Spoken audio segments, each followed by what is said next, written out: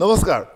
Good morning नेपालमा अशेष र मेरो तर्फबाट यहाँहरूलाई स्वागत छ आज फ्राइडे यानि कि टिजिआइएफ त्यो भनेको हामीहरू एकदम एक्साइटेड हुने दिन किनभने हप्ताको अन्त्यमा पुगिसकेका छौँ। हामीहरूलाई एकदम अब भोलि र पर्सि त बिदा।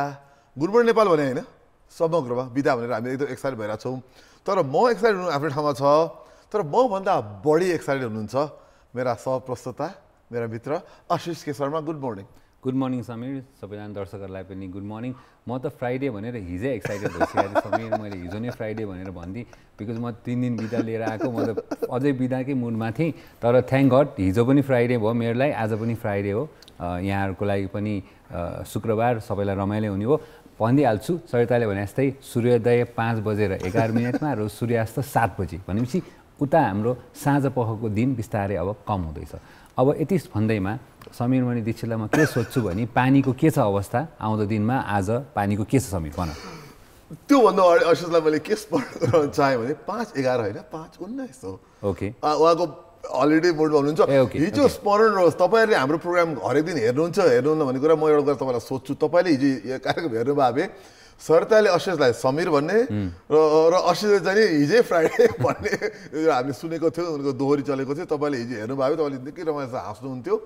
त्यति भन्दै आजको मौसम रमाइलो छ। पूर्वका केही ठाउँ तर मध्यमा विशेष गरी बादल लागिसकेको छ र दिनभरिमा कुनै पनि समयमा पानी पर्ने सम्भावना प्रबल छ। पश्चिममा भने अहिले खासै त्यस्तो केही छैन मौसम सामान्य छ। घाम सहितको तर बा बादल बढी र पानीको सम्भावना चाहिँ मध्यमा बढी छ आज। पूर्वमा चाहिँ बादल भए तापनि पानीको सम्भावना अझ कमी छ। पश्चिममा खासै छैन। मध्य छ आज मध्यमै छ। काठमाडौँ लगायत। र त्यति भन्दै अहिले बिहानको तापक्रम अघि चौबिस डिग्री सेल्सियस थियो बिहान सात बजे। र अहिले अब बढेर सता छब्बिस जति पुगेको छ। त्यति भन्दै अशिष अब हामीहरू के छ तिम्रो? आजको कार्यक्रम? हेरिहालौँ। किनभने आज हामीसँग एकदम रमाइलो अतिथि हुनुहुन्छ। आजको कार्यक्रमहरू हेरौँ।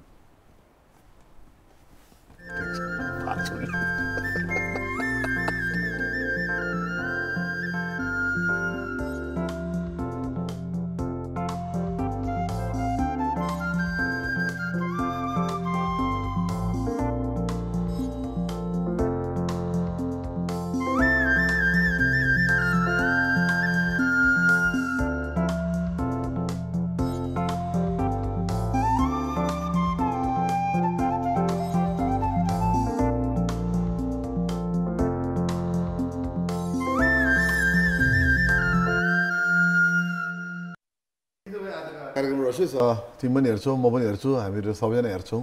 हामी गुड मर्निङ नेपाल मात्रै हेर्दैन हामीहरू कान्तिपुर टेलिभिजनै हेर्छौँ हेर्नुपर्ने च्यानलहरू हेर्छौँ र तीमध्येमा चाहिँ नि साढे छ बजे युएनआई भन्ने आउँछ अलि युवा पुस्तालाई टार्गेट गरिएको।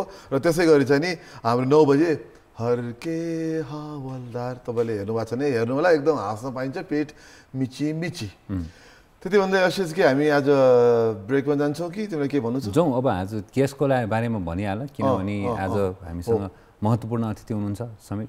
को आउँदै हुनुहुन्छ आज? आज आउँदै हुनुहुन्छ एकदम म एक्साइटेड छु। अहिले ब्रेक जानु अगाडि म भनिदिइहालेँ प्रत्युष ओन्टा उहाँ इतिहासकार हुनुहुन्छ मार्टिन चौतारी पनि उहाँले चलाउनु भएको छ। हामी उहाँसँग नेपालको अनुसन्धान कल्चर बारेमा कुरा गर्न छिट्टै आउँछु ब्रेक पछि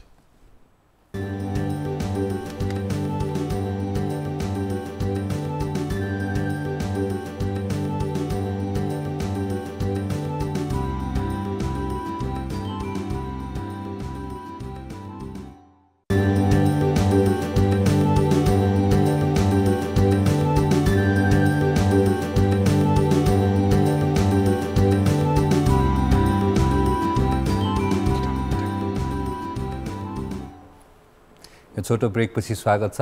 अघि समयले भने जस्तै हामी गुड मर्निङ नेपालमा स्वागत गर्न चाहन्छौँ। प्रत्युष पन्तजीलाई। प्रत्युषलाई स्वागत छ हाम्रो कार्यक्रममा। धन्यवाद।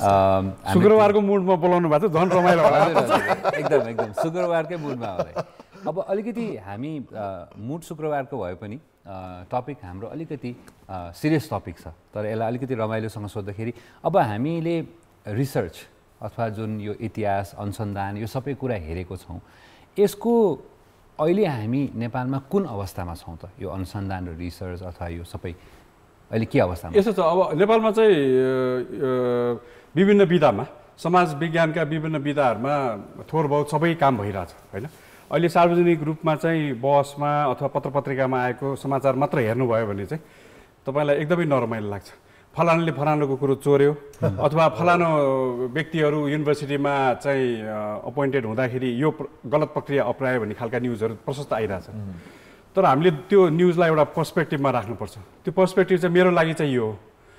मलाई चासो भएका विधाहरूमा समाज विज्ञानको इतिहास अथवा सोसियोलोजी एन्थ्रोपोलोजी पोलिटिकल साइन्स यावत अरू विधाहरूमा चाहिँ यति ठुलो सङ्ख्यामा नेपालीहरूले पिएचडी र उच्च शिक्षाका अरू डिग्रीहरू संसारभरिका युनिभर्सिटीहरूमा यति ठुलो सङ्ख्यामा योभन्दा अगाडि कहिले पनि हासिल गरेर आएको थिएनन् एउटा कुरा।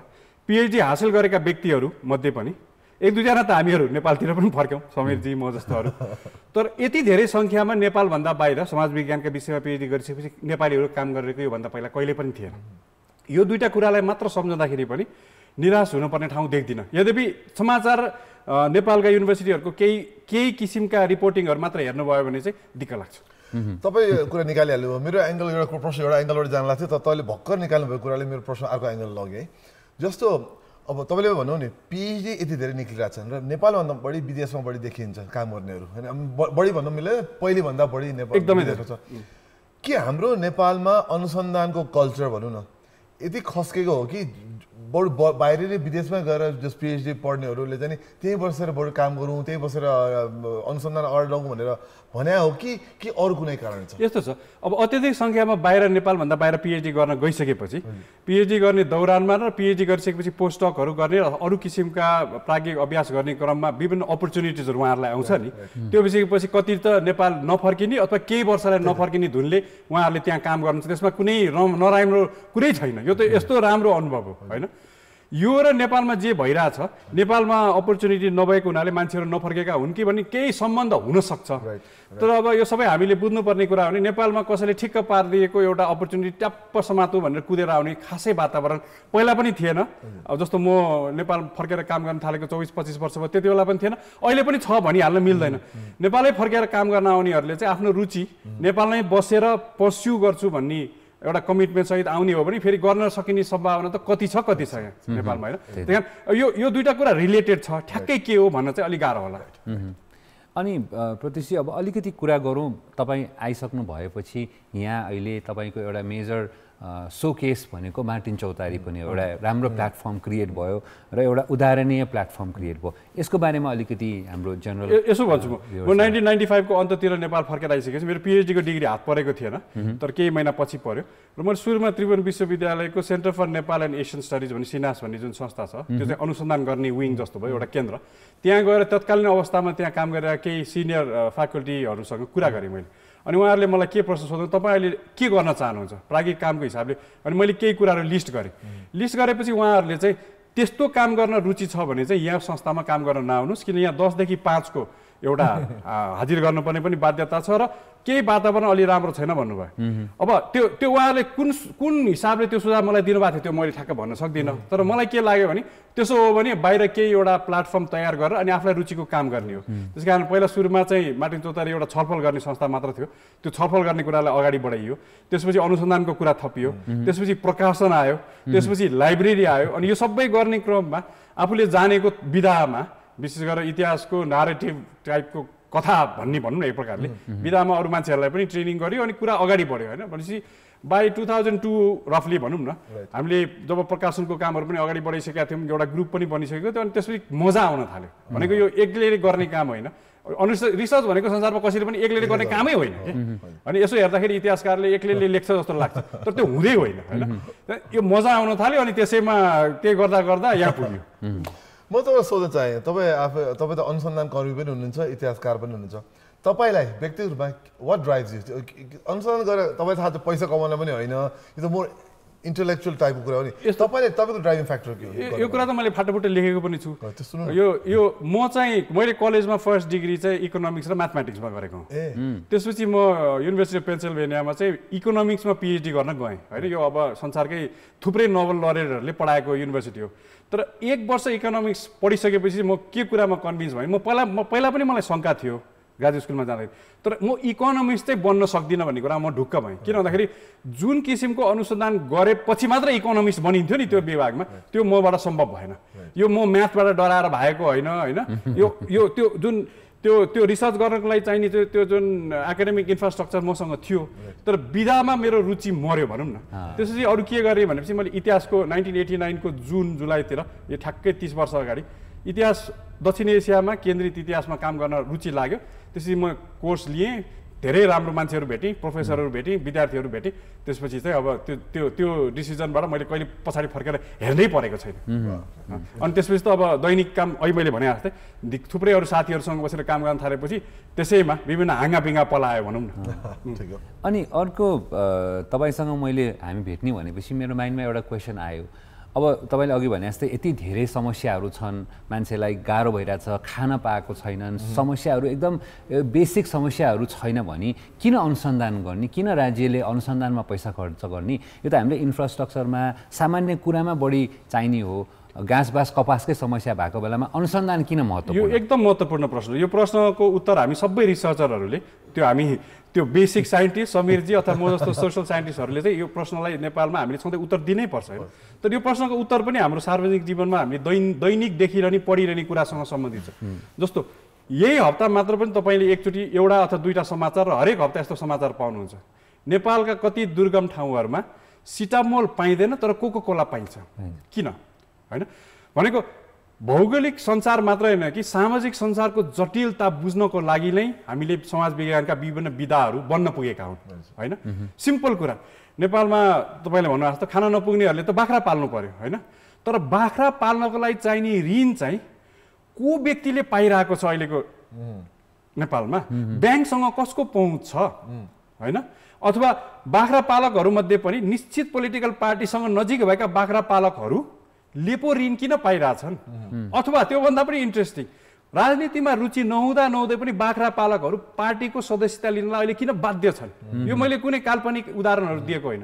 यो हाम्रो नेपालमा सार्वजनिक यो काम गरिरहेका व्यक्तिहरूसँग कुरा गरेर निकालेको उदाहरण हो।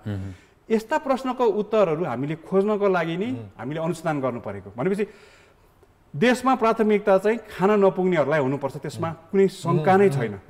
तर हामीले पर्सपेक्टिभमा पनि राख्नु पर्यो। हाम्रो देशमा एक पैसा छैन भनिन्छ।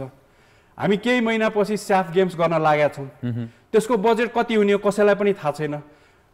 सार्वजनिक रूपमा गरिएको एउटा सूचना एउटा रिपोर्टमा चाहिँ मैले पाउने छ अरब अथवा झन्डै छ सय करोड रुपियाँ खर्च हुन लागेछ भन्यो। एकछिनलाई मानिलिउँ त्यसमा हामीले इन्फ्रास्ट्रक्चर कस्ट जोड्यौँ भने एक हजार करोडको हामी गेम्स गर्न लागिरहेछौँ। यही अवस्थामा तपाईँ म हामीले सोध्नुपर्ने प्रश्न चाहिँ के भने समाज विज्ञानको अनुसन्धान धार्नको लागि चाहिँ हाम्रो देशले आजको दिनमा कति करोड रुपियाँ खर्च गरेछ होइन? हामी के गर्छौँ भन्दाखेरि युनिभर्सिटीभित्र युनिभर्सिटी ग्रान्ट्स कमिसनले थोरै रकम दिनको लागि युनिभर्सिटीहरूमा काम गर्ने फ्याकल्टी मेम्बर्सहरूलाई थोरै रकम दिनको लागि स्किम त तयार गर्छौँ।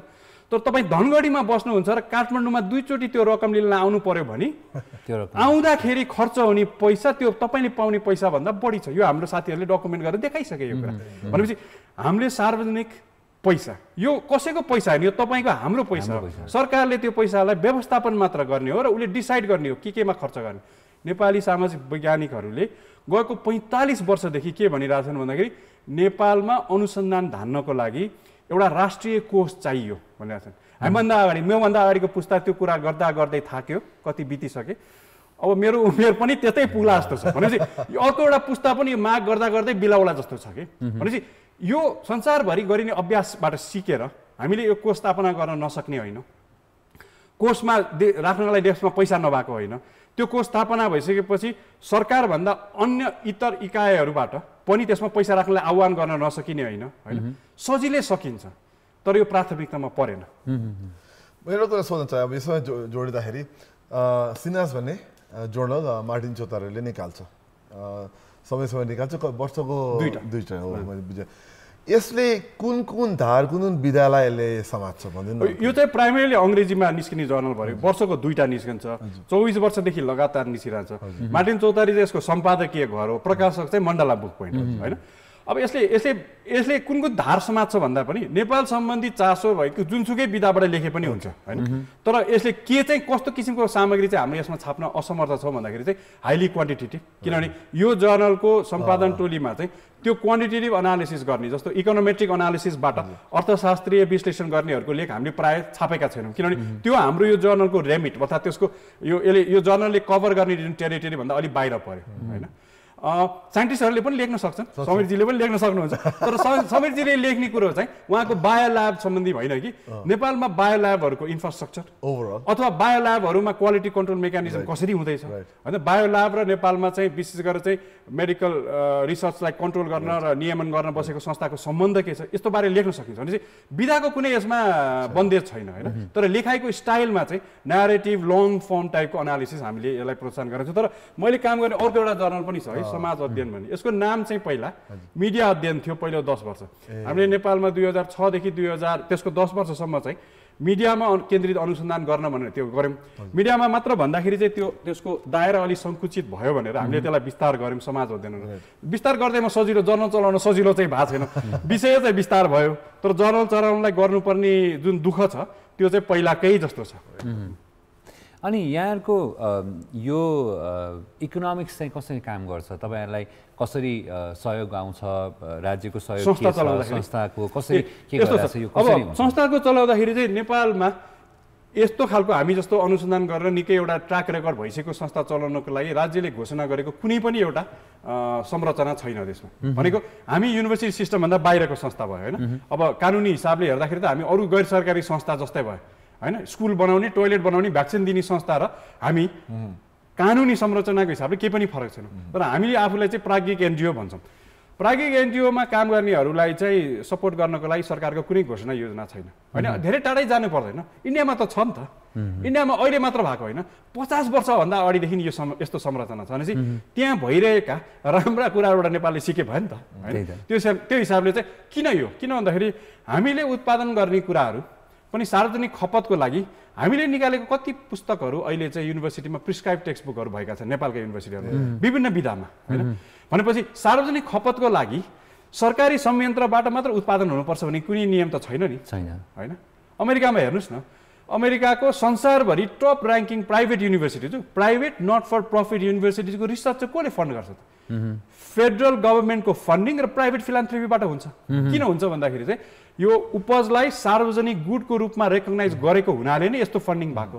भनेपछि नेपालमा यस्तो संस्था चलाउन सजिलो छैन। भनेपछि हामीले केमा आधार हुनु पर्यो भन्दाखेरि चाहिँ नेपालमा काम गर्ने विदेशी संस्थाहरू र निकायहरू नेपालभन्दा बाहिर ओपन कल फर रिसर्च जस्तो समीरजीले पनि यो गर्नुहुन्छ। Open call for research collaboration आउँदाखेरि चाहिँ विदेशी युनिभर्सिटीहरूका कलिग्सहरू काम गरेका कलिग्सहरूसँग मिलेर जोइन्ट अप्लाई गर्ने। अथवा कहिले कहिले कुनै कुनै किसिममा चाहिँ साउथ ड्रिभन रिसर्च इनिसिएटिभ भन्ने हुन्छ। साउथ भनेको चाहिँ ग्लोबल साउथमा रहेका संस्थाहरूले नै प्राइमेरी एप्लिकेन्ट भएर रिसर्च गर्ने। यस्तो पनि एउटा हाम्रो अवार्ड छ अहिले। यसरी यसरी चलाइरहेको छौँ होइन? तर कस्तो हुन्छ नि यो हाम्रो जस्तो संस्था चलाउँदाखेरि कुनै कुनै वर्षहरू हामीलाई पैसाको गाह्रो हुँदैन। किनभने दुई तिनवटा ग्रान्ट एकैचोटि पाएको अवस्था हुन्छ होइन? गएको तिन चार वर्ष हामी त्यो अवस्थाबाट गुज्र्यौँ। तर आउँदो वर्षदेखि हाम्रो आर्थिक अवस्था राम्रो देखिँदै देखिएको छैन। भनेपछि यस बिचमा हामीले यस्ता खालका ग्रान्टहरू पाउन सकेनौँ जुन बेलामा हामी निरन्तर अप्लाई गरेको गरेकै छौँ। तर समाचार राम्रो नआउँदाखेरि चाहिँ अर्को सालदेखि हामीलाई चलाउन गाह्रो हुन्छ। त्यस कारण धेरै वर्ष अगाडिदेखि मभन्दा अघि मैले पनि भने अगाडिको पुस्ताले पनि यो भन्यो मैले पनि यही भनिरहेको छु हाम्रो धेरै सहकर्मीहरूले यो भनिरहनु भएको छ कि यस्तो खालका संस्थाले गर्ने कामलाई सपोर्ट गर्नलाई सार्वजनिक पैसा लगाउनै पर्छ। तपाईँको तपाईँहरू यो गर्नको लागि चाहिँ तैँले भन्नुभयो गभर्मेन्टबाट पनि सपोर्ट हुनुपर्छ भनेर। कुन एङ्गलबाट जाँदा बेस होला त। तपाईँको तपाईँको अवधारणामा के के कस्तो कस्तो यसका धेरै अभ्यासहरू छन् संसारमा होइन? एउटा त यो संरचना सार्वजनिक पैसा यस्ता खालका संस्थाहरूलाई चाहिँ जाने एउटा संरचना तयार गर्नु पर्यो सरकारले होइन? जस्तो जस्तो भनौँ न। अन्य देशमा यस्तो खालका युनिटहरूलाई चाहिँ प्राय के भनिन्छन्? सोसल साइन्स रिसर्च काउन्सिल अथवा सम भेरिएन्ट अफ द्याट नाम दिने गरिन्छ। अनि त्यसले कसरी आह्वान गर्छ भन्दाखेरि त्यसले दुई तरिकाले आह्वान गर्न सक्छ। एउटा निश्चित संस्थाहरूलाई ब्लक ग्रान्ट दिने होइन? केही निश्चित समयको लागि। दुई वर्ष तिन वर्ष यो काम गर्नलाई अथवा यो क्षेत्रहरूमा काम गर्नको लागि भने ब्लक ग्रान्ट दिने। भयङ्कर इभ्यालुएसन गर्ने। भनेको अनुसार काम भएन भने अर्कोचोटि चरणमा पैसा नपाउने। सिम्पल लाइक द्याट होइन? अर्को चाहिँ थिमेटिक कल्सहरू जस्तो भनौँ न। कृषि सम्बन्धी अनुसन्धान गर्नको लागि सा कृषि सम्बन्धी सामाजिक अनुसन्धान। अहिले मैले जुन उदाहरणहरू दिएँ नि बाख्रा पालिराहरूले ऋण किन पाउँदैनन् भन्ने टाइपको उदा अनुसन्धान गर्नको लागि चाहिँ एउटा कल गयो भने। अनि त्योमा एक्सपर्टिज पनि भएका र इन्ट्रेस्ट पनि भएका संस्था र संस्थामा काम गर्ने रिसर्चरहरूले अप्लाई गर्ने भयो। अथवा मलाई सोध्नु भयो भने जस्तो भनौँ न अहिले उच्च शिक्षामा पोलिसी डिबेट नेपालमा के हुनुपर्ने भने मलाई व्यक्तिगत रूपमा इच्छा भएको हुनाले अब त्यही कलमा यस्तो खालको उच्च शिक्षामा अनुसन्धान संस्कृतिबारे कसैले कल गर्यो भने त्यो पनि रिप्लाई गर्ने किसिमले गर्न सकिन्छ। यसका मोडालिटिजहरू त संसारमा धेरै प्र्याक्टिस भएका छन् होइन? बेलायतमा अमेरिकामा थुप्रै ठाउँमा छ। अब यो कुनै कुनै कुनै ठाउँमा प्राइभेट फिलान्थ्रोपीले यसलाई सपोर्ट गरेको छ? कुनै कुनै ठाउँमा के अरे प्राइभेट फिलान्थ्रोपी एन्ड पब्लिक पैसाले सपोर्ट गरेको छ? त्यसको रेसियोहरू फरक फरक छ यसैमा मैले अर्को थपेँ जस्तो प्राइभेट फिलान्थ्रोपी भन्नुभयो त्यसलाई टेक्निकली नेपालमा भन्दाखेरि हामीले व्यक्तिगत रूपमा पनि कसैले एउटा भनौँ न चन्दा अथवा डोनेसन दिएर च्यारिटीको हिसाबले दिन सक्ने पनि हुन्छ। त्यो मोडल चाहिँ हाम्रो यहाँ केही ट्राई गरिएको छ। सक्सेसफुल किन यस्तो छ? नेपालमा चाहिँ हामीले यसरी सोच्नुपर्ने हुन्छ। अब हामीले संसारभरि फलाना सबभन्दा धनी व्यक्ति भन्दाखेरि चाहिँ छु नि उनीहरूको नेटवर्थ छ नि it goes into billions of dollars होइन? नेपालमा त्यस्तो नेटवर्थ भएका व्यक्तिहरू धेरै कम छन् होइन? त्यस्तो ठुलो स्केलमा नेपालमा करोडपतिहरू त छन् नि धेरै होइन? करोडपति छन् तर एकदमै ठुलो नेटवर्थ भएका नेटवर्थ धेरै भएका व्यक्तिहरू कम भएको हुनाले पहिलो कुरा यो यो सोर्स नै सानो छ होइन? दोस्रो जससँग पैसा छ नि उहाँहरूको फिलान्थ्रोपी अन्य विषयहरूमा केन्द्रित छ। मन्दिर बनाउने अथवा यस्तै अलिक धार्मिक धरातलसँग सम्बन्धित कुराहरूमा सपोर्ट गर्ने होइन? तपाईँहरू हामीले पढ्नुहुन्छ नि फलानुले फलानु मन्दिर रिस्टोरेसनलाई एक करोड रुपियाँ दिनुभयो। अब रिसर्चमा चाहिँ बुझाउन कारक मन्दिर त अन्तमा रिस्टोर भएर आउँदाखेरि मन्दिर रिस्टोर भएको देखाउन सकिन्छ। त्यहाँ एउटा प्लाक बन्छ होइन? फलानुले यति पैसा दिनुभयो भनेर नेपालका हरेक मन्दिरहरू रिनोभेट हुँदाखेरि यस्तो प्लाकहरू हामीले देशभरि देख्न सक्छौँ। रिसर्चमा चाहिँ आउटपुट के भनेर देखाउँछ? कहिले कहिले आउटपुटै देखाउन गाह्रो हुन्छ। कहिले कहिले दुई वर्ष तिन वर्ष चार वर्ष काम गरिसकेपछि एउटा सानो आर्टिकल मात्र आउटपुट हुन्छ। यतिको लागि यति धेरै पैसा खर्च गर्ने भन्ने मनमा हुँदो रहेछ। भनेको दिने कुराको पनि फिलान्थ्रोपी हुन्छ कि? अमेरिकामा यो फिलान्थ्रोपी चाहिँ ठुलो कर्पोरेट वर्ल्डबाट सुरु भयो जसले चाहिँ जस्तो फोर्ड फाउन्डेसनको पछाडि अथवा कार्नेगीको पछाडि रकफेलरको पछाडि व्यक्तिहरूले कमाएको पैसा दान दिएर भएको हो नि। कम्पनीहरू मार्फत कमाएर। नेपालमा चाहिँ यो प्रक्रिया एकदम कम सानो छ। त्यसकारण मैले एडभोकेट गरेको नेपालमा फिलान्थ्रोपी चाहिँ स्मल फिलान्थ्रोपी हो। नेपालमा अनुसन्धानको लागि वर्षको पच्चिस अथवा पचास हजार रुपियाँ दिन सक्ने मान्छे त धेरै छन् नि। एकछिनलाई मानिलिउँ पचास हजार रुपियाँ दिन सक्ने दस हजार मान्छे जम्मा भयो भने कति रकम हुन्छ? त्यसले चाहिँ समाज विज्ञानका धेरै विधाहरूमा अनुसन्धान धान्छ है? अर्को कुरा अब गर्नुपर्ने काम के भन्दाखेरि युनिभर्सिटीहरूले आफ्ना इन्टर्नल फ्याकल्टी मेम्बर्सहरूको लागि त्रिभुवन विश्वविद्यालय लगायत अरू विश्वविद्यालयहरूले चाहिँ रिसर्च फन्ड भनेर चाहिँ राखेर एउटा अक्षय कोष राखेर त्यो त्रिभुवनमा हुन लागेको छ। त्यसको कार्यविधिमा पनि एउटा थरीको काम भइसकेको छ। यसले कल गरेर चाहिँ जुनियर लेभल अथवा सिनियर लेभलको फ्याकल्टीहरूले चाहिँ वर्षमा यतिवटा फेलोसिप पाउने भनेर कल गरेर अनि निश्चित आफ्नो मात्र काम गर्ने त्यसले गर्दा के हुन्छ भन्दाखेरि पढाउने लोडबाट उहाँहरूलाई मुक्त भएर उहाँले रिसर्चमा काम गर्न पाउँछ यस्तो धेरै मोडालिटी छ। नेपालमा सम्भव छ। हजुर. एकदमै थ्याङ्क यू सो मच आज एकदम राम्रो राम्रो कुरा गर्नु गर्नुभयो। सुन्न पाइयो हामीले सुन्न पायो तर समय हामीसँग साथी रहेन। इङ्ग्लिस न्युजको टाइम भइसक्यो। जानु पर्यो। शुक्रबार बोलाइदिनु भयो। धन्यवाद। र यति भन्दै प्रतिजीलाई धेरै धेरै धन्यवाद दिँदै अशेष हामी जाउँ यहाँहरूको दिन शुभ रहोस् र आफ्नो तर्फबाट कुनै सहयोग गर्न सक्नुहुन्छ अनुसन्धानको लागि भने कृपया गरिदिनु होला। देशलाई त्यो मागेको छ। त्यति भन्दै हेभ अ गुड डे नमस्कार